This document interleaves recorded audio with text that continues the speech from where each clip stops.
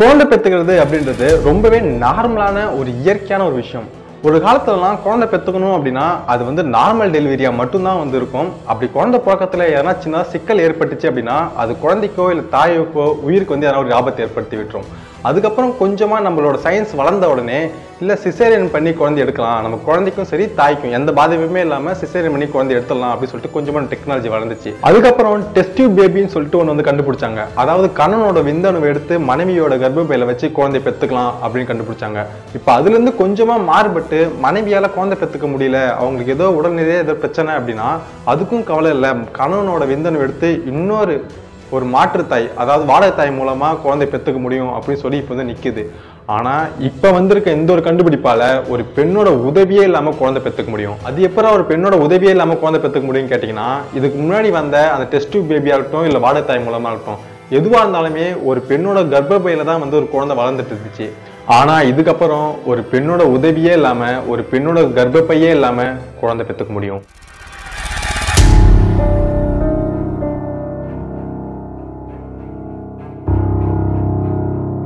World first artificial womb facility உலகின் முதல் செயற்கை கருப்பை வசதி. அதாவது ஒரு தாயோட வயிற்றுல ஒரு கர்ப்பப்பையில் ஒரு குழந்தை எவ்வளோ பாதுகாப்பாக வளருமோ அதே போல் செயற்கையாக உருவாக்கப்பட்ட இந்த ஒரு கர்ப்பப்பையில் இதுக்கப்புறம் குழந்தைங்க வளரப்போகுது. இந்த ஒரு கண்டுபிடிப்பு உண்மையிலேயே மக்களுக்கு வரமா இல்லை சாபமா? வாங்க வீடியோக்குள்ளே போவோம்.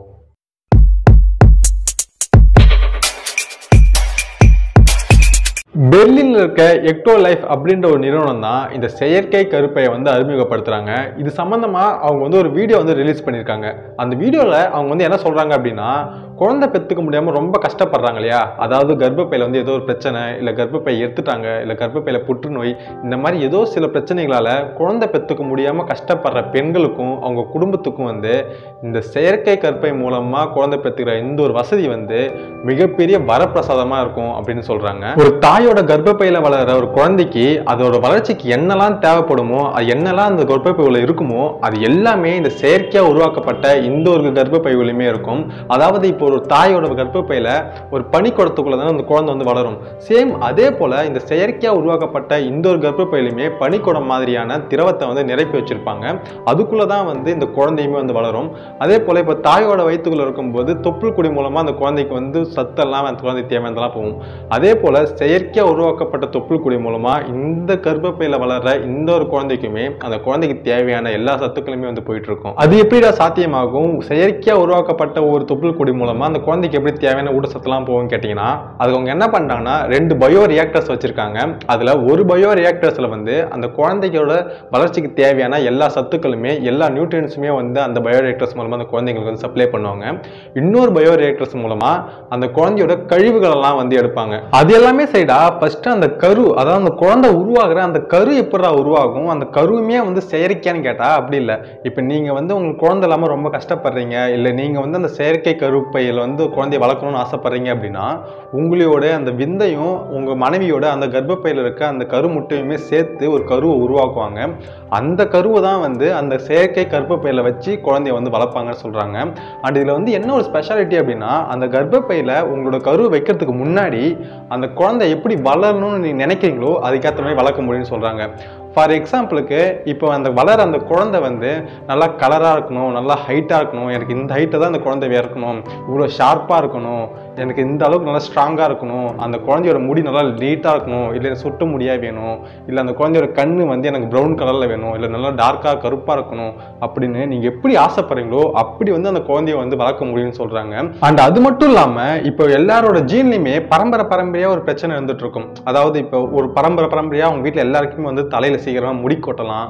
இல்லை உடல் ரீதியாக எதனா ஒரு பிரச்சனை இருக்கலாம் இல்லை ஊனமாக குழந்தை பிறக்கலாம். இந்த மாதிரி பரம்பரை பரம்பரையாக ஒரு பிரச்சனை வந்து ஜீனில் வந்துகிட்டே இருக்கும் இல்லையா?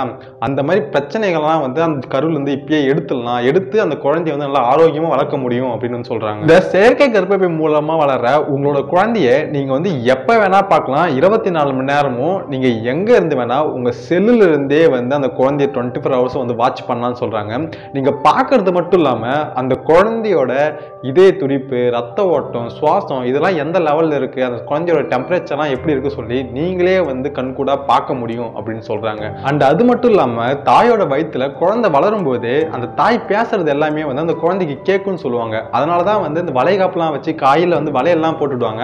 அந்த வளையல் சவுண்டு கேட்கும் போது தான் குழந்தை வந்து எட்டி உதைக்கும் அப்படி சொல்லுவாங்க. இந்த மாதிரி சமயங்களில் வந்து நல்ல நல்ல புத்தகங்கள் படிக்கணும் நல்ல சாங்கு கேட்கணும் அப்படிலாம் சொல்லுவாங்க இல்லையா? சேம் அதே போல் நீங்களுமே வந்து அந்த செயற்கை கருப்பையில் இருக்க அந்த அந்த குழந்தைகிட்ட வந்து பேச முடியும். அதாவது அந்த டைமில் நீங்கள் வந்து நேரடியாக பாடுறது இல்லை நீங்கள் என்ன நல்ல நல்ல புத்தகங்கள் படிக்கிறது சொல்லிட்டு அந்த ஆப் மூலமாக நீங்கள் வந்து பேசுனீங்கன்னா அது எல்லாமே அந்த குழந்தைக்கு வந்து கேட்குன்னு சொல்கிறாங்க அண்ட் கூடவே அந்த செயற்கை கற்பைக்குள்ளே வந்து கேமராஸ் இருக்கும். அது மூலமாக உங்களோட குழந்தைய வந்து விர்ச்சுவல் ரியாலிட்டி மூலமாக நேரடியாக பார்க்குற மாதிரி உங்களால் அந்த குழந்தைய பார்க்க முடியும்னு சொல்கிறாங்க அண்ட் குழந்தைய பார்க்கறது மட்டும் இல்லாமல் அந்த குழந்தையோட பார்வையில் அந்த இடம் எப்படி இருக்குது அந்த கர்ப்பப்பை எப்படி இருக்குன்னு சொல்லியும் நீங்கள் வந்து பார்க்கலாம் அப்படின்னு வந்து சொல்லியிருக்காங்க. இந்த மாதிரியான கண்டுபிடிப்பு கண்டுபிடிப்புகள்லாம் வந்து நடைமுறைக்கு வந்துச்சு அப்படின்னா நம்ம இந்தியா மாதிரியான நாடுகளில் வந்து மக்கள் இது எந்த அளவுக்கு பயன்படுத்துவாங்க மக்கள்கிட்ட வந்து எந்த அளவுக்கு தாக்கத்தை ஏற்படுத்தும் சொல்லி தெரியாது. ஆனால் திருமணமே பண்ணிக்காம இருக்க அப்படி திருமணம் பண்ணாலும் குழந்தை பெற்றுக்காம இருக்க மக்கள் தொகையில் ரொம்பவே குறைஞ்சிட்டே வர ஜப்பான் பல்கேரியா தென்கொரியா மாதிரியான நாடுகளில் வந்து இது மிகப்பெரிய தாக்கத்தை ஏற்படுத்தும். அங்க இருக்க மக்களுக்கு வந்து இது மிகப்பெரிய அளவில் வந்து பயன்படும் அப்படின்னு அறிவியலாளர்கள் வந்து சொல்றாங்க. இந்த ஒரு கண்டுபிடிப்புல இருந்து எழுபத்தஞ்சு லேப்ல இருக்க நானூறு செயற்கை கற்பப்பைகள் மூலமா வருஷத்துக்கு முப்பதாயிரம் குழந்தைங்களை வந்து பிறக்க வைக்க முடியும்னு சொல்றாங்க. இந்த ஒரு செயற்கை கருப்பை வசதி வந்து குழந்தை இல்லாத நிறைய மக்களுக்கு ஒரு மிகப்பெரிய வரப்பிரசாதமா இருந்தாலுமே இதை பார்க்குற மற்ற சாதாரண மக்கள் வந்து இதை வந்து ஒரு சாபமா பார்த்துட்டு இருக்காங்க. ஏன்னா ஒரு குழந்தை வந்து ஒரு தாயோட வயிற்றுல வளரும் போதே அந்த குழந்தைக்கு வந்து பாசம்னா என்னன்னு தெரிய மாட்டுது என்ன மதிக்க மாட்டாங்க அப்படின்னு பேசிட்டு இருக்காங்க. இதுல இந்த மாதிரி செயற்கை முறையில் இந்த மாதிரி குழந்தைங்களாம் பிறந்துச்சு அப்படின்னா அதுக்கப்புறம் வந்து பாசம் அன்பு இதெல்லாம் வந்து என்னன்னே தெரியாம போயிடும். இது வந்து வருங்காலத்தில் வந்து மிகப்பெரிய பாதிப்பை ஏற்படுத்த சொல்லிட்டு இன்னொரு பக்கம் வந்து நெகட்டிவான கமெண்ட்ஸுமே வந்துட்டு தான் இருக்கு. என்னதான் இந்த கண்டுபிடிப்பு வந்து நிறைய பாசிட்டிவ் கமெண்ட்ஸ் நிறைய நெகட்டிவ் கமெண்ட்ஸ் மாறி மாறி வந்துட்டு இருந்தாலுமே இந்த வீடியோவை பார்க்குற நீங்கள் சொல்லுங்க இந்த ஒரு கண்டுபிடிப்பு வந்து உண்மையிலேயே மக்களுக்கு வந்து பயனுள்ளதாக இருக்குமா ஹெல்ப்பாக இருக்குமா?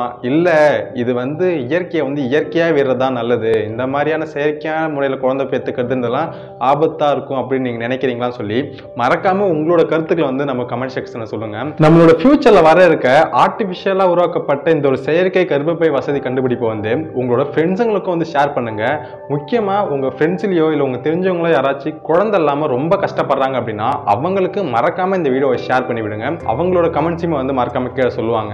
நம்ம சேனலுக்கு நீங்கள் இப்போ தான் ஃபர்ஸ்ட் டைம் பார்க்குறீங்கன்னா மறக்காம நம்ம சேனலுக்கு வந்து சப்ஸ்கிரைப் பண்ணிட்டு பாருங்கள் இன்னொரு சூப்பரான வீடியோவில் நான் வந்து உங்களை பார்க்குறேன் அண்ட் அதுவரை உங்களிடமிருந்து விடைபெறுவது நான் உங்கள் சிவா.